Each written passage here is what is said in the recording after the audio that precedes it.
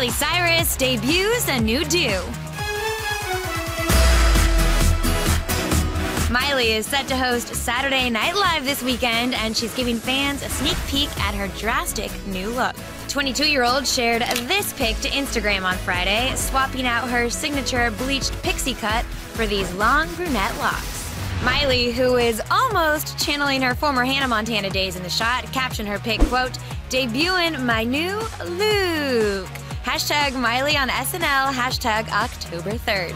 Miley's no stranger to experimenting with her tresses, though. She often posts photos in all sorts of different wigs and hairstyles. Earlier this year, Miley told ET that sometimes a wig just makes things easier and more fun. Hair, when you're like bleaching it and you're doing it hard, it's hard, you know. So luckily for me, I um, I'm a fan of wigs.